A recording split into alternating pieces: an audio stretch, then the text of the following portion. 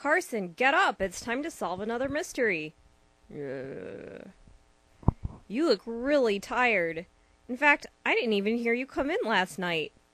Yeah, I was uh, meeting a friend. We were up kind of late. Wow, you're walking kind of funny. Are you okay? I'm just dandy. Meanwhile, Jake is looking on with envy.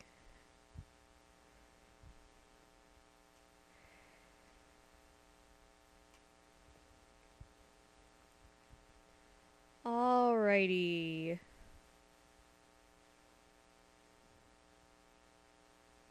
Mm-hmm.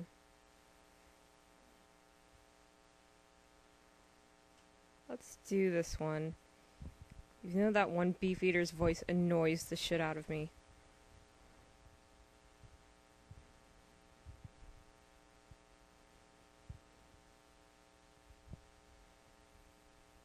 Jennifer, Mom just called from the tower. One of the ravens have disappeared.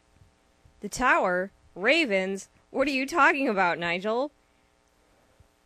The Tower of London, where they keep the crown jewels. One of the ravens that lives there seems to have been stolen. The legend says that if the ravens leave, the tower will fall.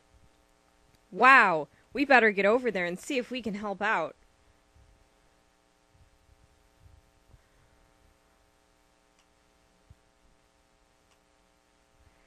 Carson's like, I don't care. There's Aunt Miranda with some other reporters and one of the beefeaters. I've seen their pictures in books. He looks like he's in some kind of costume, but that's his real uniform. Way to make fun of British culture. Let's see what he's saying about the raven's disappearance.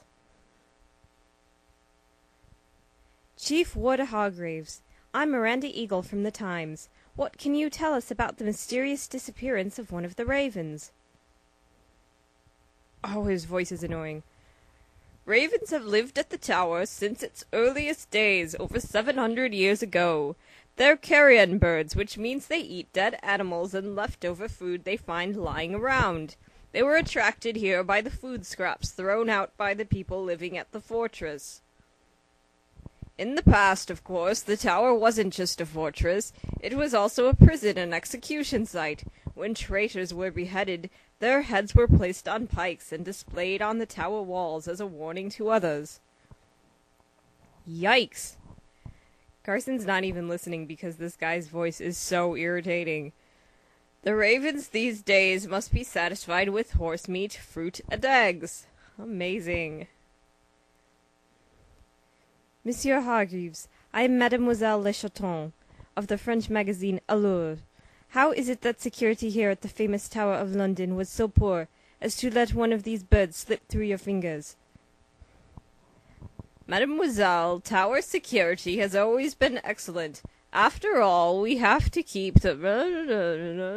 That's pretty much what you hear after a while. yes, Spotty Wiles. Miranda probably tipped him off to come here, too. Sir, ahem, Tungsten Wiles from the Sun here. How many ravens are there exactly, and how many are missing at present? There are eight ravens presently living at the tower. One of these is missing, a bird named Jackie. They're all looked after by Grebes, our raven master, who can't count worth shit. Now that's all the time I have for questions at the moment.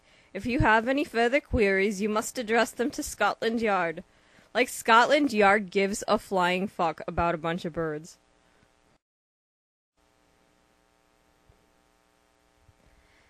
As a member of St. Crispin's Cadets, it's my duty to help the guards and visitors around the tower. Darren and I keep a close lookout for injured guests, suspicious packages, or strange happenings. Do a lot of people get injured visiting the Tower of London? Sometimes there are demonstrations here so we keep a pretty sharp eye on the ravens. But with eight of them spread out around the grounds, we can't watch them all at once. What kind of demonstrations are you talking about, Simon? Like that weirdo Chelsea? Lately, some students, animal rights activists from the university, have been protesting outside the tower grounds on behalf of the ravens. They believe it's cruel to keep the ravens here by clipping their wings. Oh, so it is, Chelsea. The Raven Master Grebes could probably tell you more about that. Grebes is a fanatic about his birds. He takes smashing care of them, like they were his own kids. These demonstrations have really upset him. Grebes really likes his birds, huh? Really, really likes them? Awkward silence. Grebes is the only human who the ravens will allow to touch them. Ooh. We steer clear of them. They'll bite anyone else who comes close. I've been keeping a close watch on that Frenchwoman Le Chaton. She's been slinking about here all week as if she were up to something. Plus, she's French. She's always lugging about tons of big bags full of photo equipment and snapping pictures of everyone and everything in sight. Hmm. Yeah, Jennifer's on to you, Frenchie. I suppose she's only doing her job, writing a story on the demonstrations and all, but I think she's got a lot of nerve. Yesterday I saw her throwing food to one of the ravens over by the White Tower. That's not allowed, even if it does help you to get a close up photo.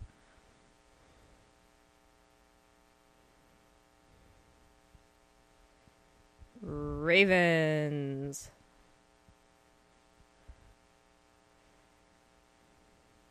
Territorial. Jackie's territory is just outside the White Tower. Hmm. Blah blah, monarchy.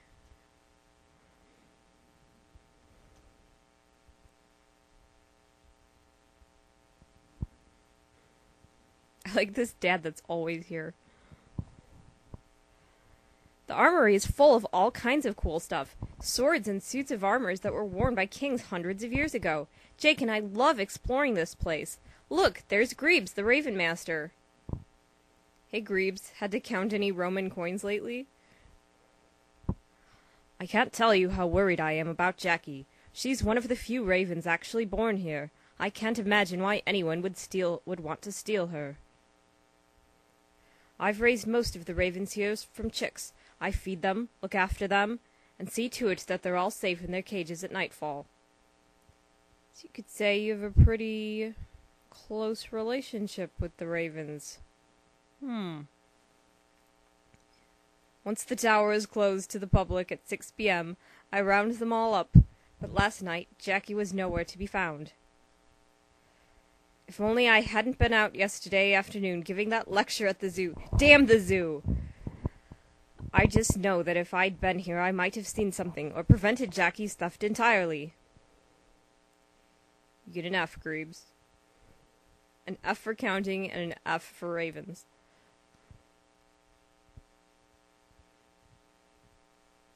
A double F for ravens due to your inappropriate relationship with them.